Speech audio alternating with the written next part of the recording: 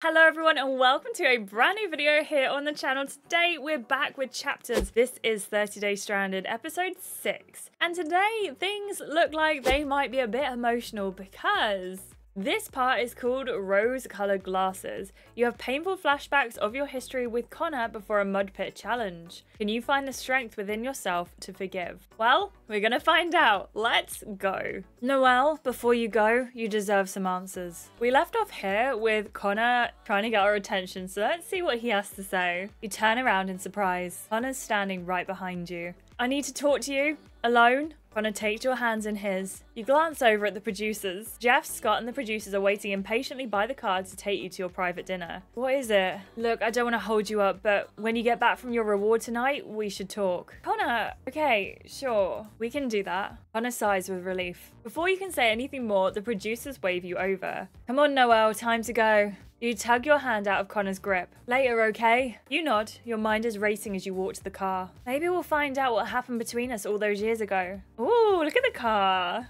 You join Scott inside the car's cool leather interior. Finally, some alone time. I can think of a hundred ways I'd like to take advantage of our privacy. You raise an eyebrow, looking pointedly at Ben and Anna, who are buried under camera equipment. Ben and Anna want to chime in here. Oh, we're invisible. Yeah, don't mind us. And we're not going to get changed before we get there. Sorry, 30 days rule. Scott turns to you, sensing your discomfort. So that's how you're going to be tonight? You're not even going to try and get to know me, Noelle? I'd rather ride in silence. I'll be civil if you are, though I highly doubt you're capable of civility. Scott narrows his eyes. I can do better than civil. I'll show you. Together you arrive at dinner. It's actually quite beautiful. Scott extends a hand to help you get out of the car. I should take his hand. I don't know why. I don't know why. I've decided to do that. You take Scott's hand and allow him to guide you out of the car. Thanks. See, Noelle, I can be a gentleman. You know, Scott, it does ruin the effect a little when you say out loud that you're a gentleman. You sit down together at the restaurant. The waiter brings out the first course of soup and salad. You immediately dive in. You're starving after the challenge. Scott can't help but laugh. Hungry much? On you. Dig in. I wanted to be polite and let you go first. Screw polite. The challenge burned off any dinner etiquette I may have had. Scott laughs. It's almost peaceful, eating and drinking without the usual noise of the rest of the house. I like this more stripped down version of you, Noelle. You raise an eyebrow at him. Meaning what exactly? I thought you'd be way more of a stuck-up person. You can feel his foot brush against yours beneath the table. Are you seriously trying to play footsie with me right now? He grins at you across the table and reaches for your hand. Come on, Noelle, you don't have to play coy with me anymore. We're alone now, you don't have to pretend. You draw your hand away. I'm officially enacting a no talking rule. Starting right now, okay? Cool? Cool. You take a huge bite of your food, intent on ignoring Scott for the rest of the meal. Scott gives you another one of his smarmy grins, undeterred by your rejection. Like I said before, Noelle, you might want to consider being a little nicer to me. You narrow your eyes around him. And why is that? I've been around the reality show scene for a while. I know some things. I should I'm going to investigate further. I do want to see what he knows. What the hell are you talking about? Scott leans forward. I know about your and Connor's relationship history, including the harsh breakup. A stone of dread sinks in your stomach.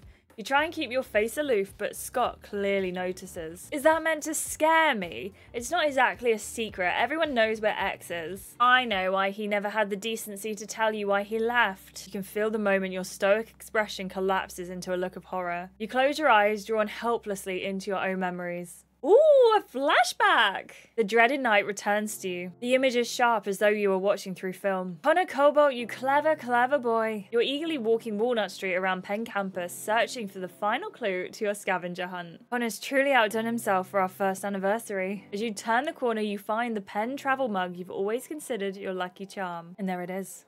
You grin to yourself as you pick up the mug.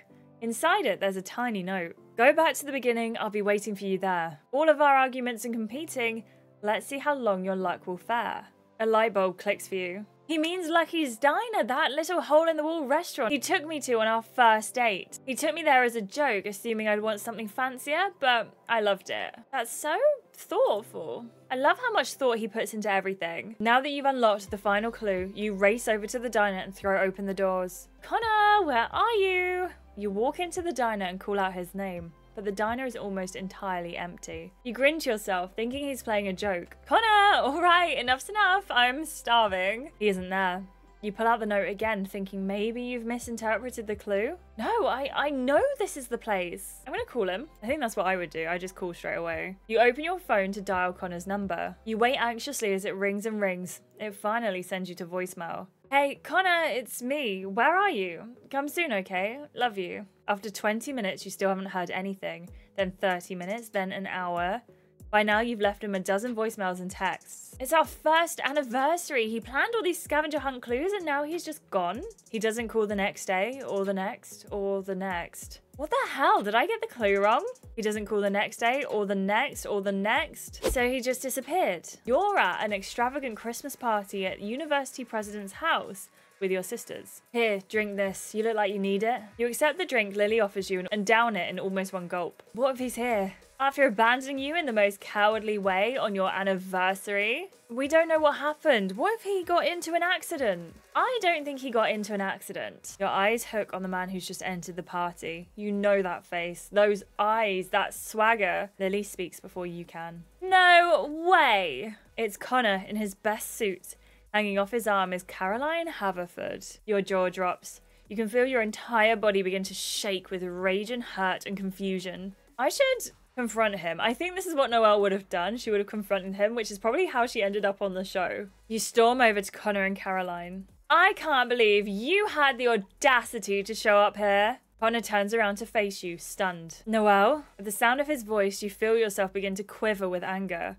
You run, unable to stand being in the same room with Connor a minute longer. A hand catches your wrist. You know without needing to look that it's Connor. Noelle, wait, please. Wait. Your, uh, your voice trembles with hurt and anger. Wait! After you made me wait on our anniversary? After you've made me wait by the phone? Are you kidding me? I thought you were missing. I thought you were dead. I filed a police report. Please, I can explain everything. I just, I can't hear.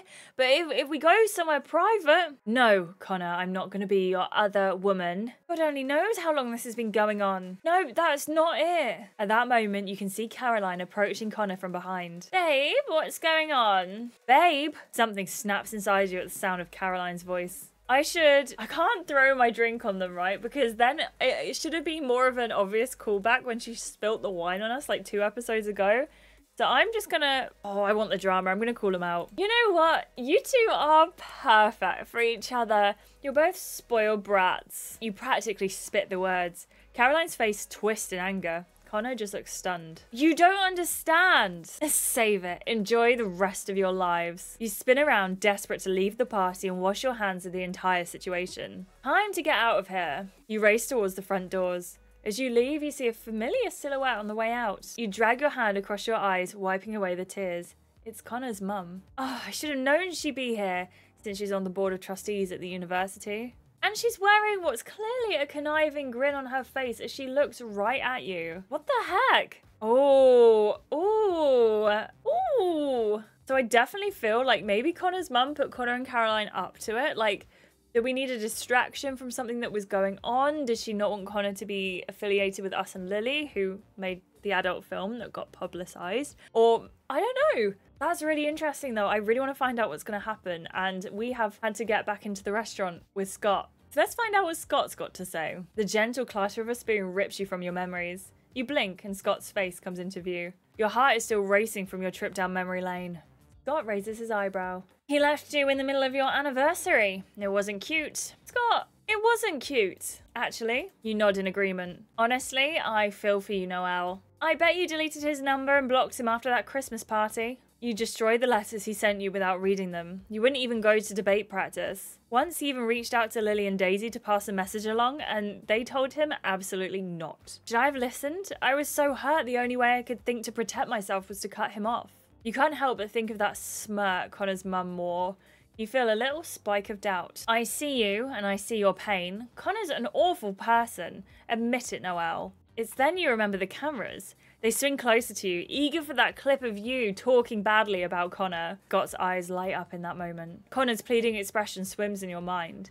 His touch, his kind words, the sincerity in his eyes. Connor is still a real mystery to me, going down the middle. I don't get why he did what he did, but I know he has layers to him. Yeah, he's risen above his awful home life, or at least I thought he did. What do you mean, awful home life? The camera swivel. You're not sure how to word this. I should be diplomatic. I think it's not our story to tell, it's Connor's story to tell, so diplomatic works. He has a complicated family life. His mum's always been cruel and his dad was totally absent. Fascinating. So you think he's emulated his father completely? I never said that. Oh, Scott glowers at you. Unlike your silly debate tournaments, this man cannot be won. Let me know when you get tired of chasing something false. I'll be waiting. You get to your feet and meet the producer's eyes. I've had enough of this reward. I'd like to go back to the house now. Thank you. Begrudgingly, the producers agree with a nod. Anna and Ben turn off their cameras. They've got the precious drama they wanted. Finally, your plates are cleared and the car returns to take you and Scott back to the house. As soon as you enter the house, you see the lights are off in the main room. Hang on, are they playing on the TV? Is that like, is that other chapters on the TV? Like other stories on chapters. I think that's a really cool touch. I love that. I guess everyone's already asleep. We've had a pretty long day to be fair. You go to the kitchen to get water. As soon as you open the fridge, you hear the footsteps behind you. Oh, sorry, I was getting some water. Connor's face is illuminated by the open glow of the fridge. Your heart immediately begins to race. After all the memories the dinner dragged up, I don't know how to act around him anymore. I'm glad you're back though. I've been thinking all night about what I want to say to you. You close your eyes. Clearly you can't keep running away from this. Connor, what do you want to say? Connor takes a deep breath. Noelle, I can't stop thinking about you. Your heart almost stops right there in that kitchen. You don't have to say anything, but I just, I just needed you to know that. And I know there's so much history behind us, but I hope one day you can forgive me for, for what I've done. I should never have left you at that diner. I've regretted it since. You inhale sharply. I've waited so long to hear those words. You stare at the ground. Moonlight casts shadows on the kitchen floor. You look up. I know it won't be easy for things to go back to the way they were. I know that, Noelle. I have a lot of explaining to do first. Stuff I was never able to tell you. Stuff I was terrified to tell you. I should have said something anyways. Let everything freeze up because of it. Before you realise it, Connor's face is so close to yours. His eyes burn with sincerity. Our families, our stupid, stuck up, stubborn families, all those expectations. His voice drifts off, his head bowed. When he looks up at you again, his eyes look haunted. I didn't expect you to just forget what I did. I know it doesn't work like that. You have every right to still be angry with me. But do you think you could ever forgive me? One day? Um, um, um, that's such an evil, that's so evil. I kind of want the drama and say I'm never going to forgive you, but I also know that's unfair, so... Oh, I'll never forgive you. Hurt flashes across Connor's face. I just... Connor, I was so heartbroken back then. But that doesn't mean I'm not willing to try to forget. I have to survive with you this month, after all. I really am here for you, Noelle. That's the only reason I'm doing this show. Really? It's just about me? What about the $1 million prize? There's a hint of accusation in your voice. Surprise flickers across Connor's face. Connor gives you a sad, mysterious smile. I actually need the money more than you might think. Let Connor keep his privacy. He'll tell us when he wants to. It's okay. You don't have to talk about it. No, it's fine. I want to. It's my mum, mostly. Your body automatically tenses at the mention of his mum. She always treated you like a pawn who can make your own decisions. Connor's jaw tenses out of a reflex. She's stubborn, but her intentions are good. Are they? She could barely handle the idea that you had a mind and a heart of your own. The sadness on Connor's face suggests something is seriously wrong. Sorry, I shouldn't have brought her up. I know you and her don't see eye to eye. It's just she's now... Oh, never mind. Connor waves dismissively, though the troubled pain expression on his face remains. I don't want to bother you with all that. Connor... oh, this game is so mean! That's so harsh. Especially because it's like, it's not really in me to just like say you're right, I don't care. Oh man, okay. You're right. I don't care. And if Connor still tries after this, then he, he is a real one. As much as I do care about you, your mum hurt me a lot, you know? Yeah, of course, I understand that. Before you can ask any more questions, Connor pulls away. Sorry, I shouldn't have kept you here so long. Anyway, good night, Noelle. What about your water? Uh, what? Connor looks confused. You said you came in here to get a glass of water? I think we both really know what I came in here for. Something jerks in your chest. The air shifts between you, filled with words unspoken. Good night, Noelle. Ooh. Connor goes to his room. You return to your bedroom, your head still spinning, your pulse still racing. After a lot of tossing and turning, you finally manage to fall asleep. You don't dream. Ooh, there's a lot of mud on the floor. Oh, is it? Yeah, no, I don't know. I don't know. The next day, you're all taken to a challenge site.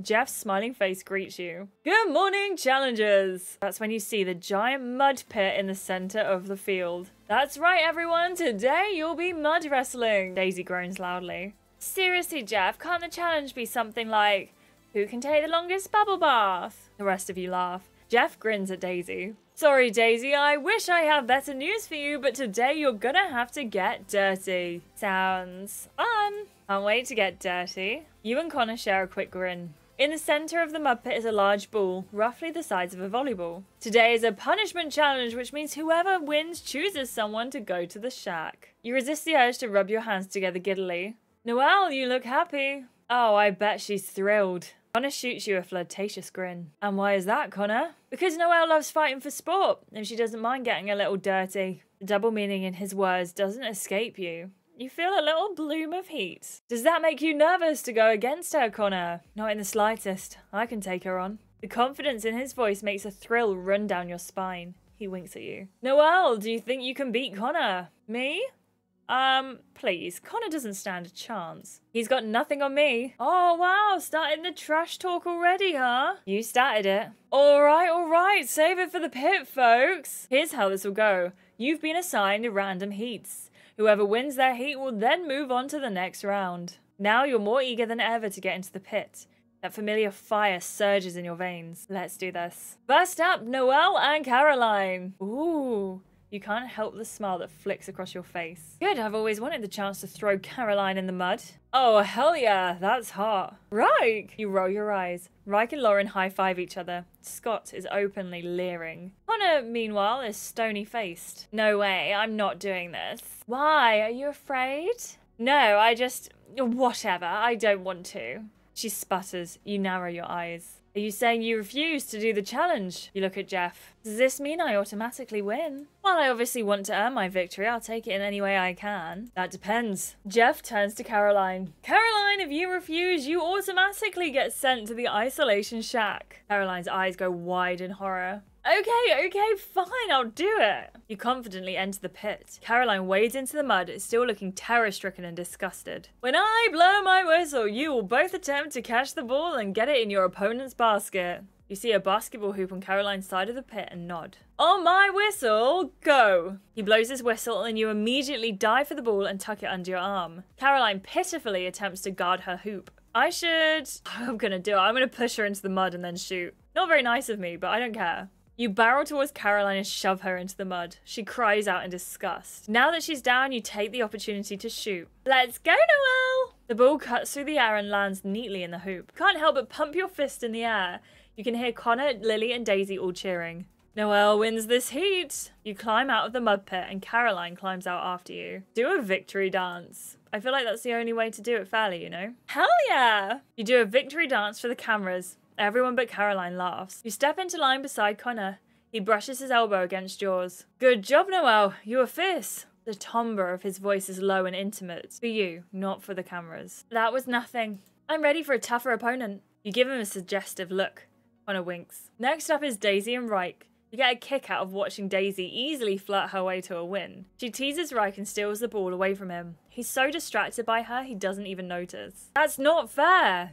Daisy blows Ryke a cheeky kiss after she manages to dunk her ball into the hoop. Ryke playfully scoops her up into his arms and carries her out of the mud pit. I kind of like Ryke, you know. Next up is Lily and Lauren. Everyone's jaw drops when Lily manages to put Lauren in a headlock. Damn, Lil, who knew she had it in her? Lily scores. Even Lauren looks surprised. Where the hell did all that strength come from? Lily shrugs a little bashfully. Pent up sexual aggression?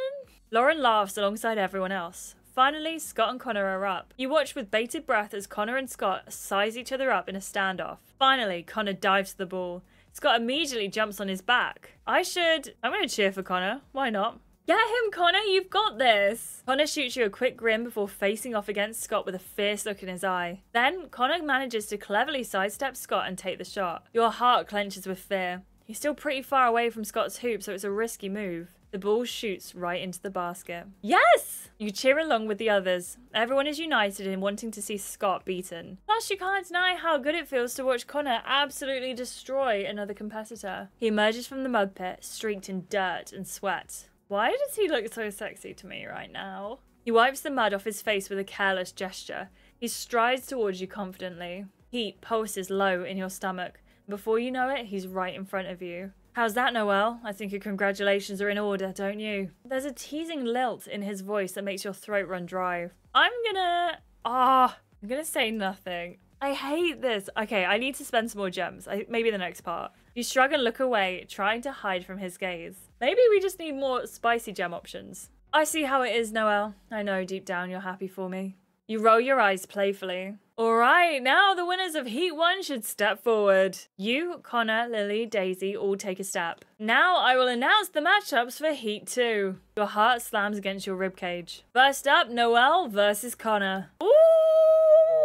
What did we think of that? That was that was definitely a different episode. What did you think? Let me know down below. I definitely think Scott just wants to cause drama and I'm not loving it, but I also love the drama. Let me know what you think. Should we be a bit more open-hearted to Scott and see if we can get to know him or do you think we should keep away? Because I'm I'm kind of in both camps, but definitely more so after his behavior in that episode on the stay away side. Thank you so much for watching this episode everyone. I hope you're doing well. As always, thank you so much to our amazing members who got got to watch this video early and most videos before everyone else on the channel. So thank you so, so, so much for being a member. I appreciate all of you so much. Thank you. If you would like to sign up and be a member, please feel free to click the join button or there's always a link in the description. And if you enjoyed this video and you haven't already, please do subscribe, click the like button and turn on your notifications so you know every single time I upload a video. Thank you so much for watching. I appreciate you so, so much and I'll catch you in the next one.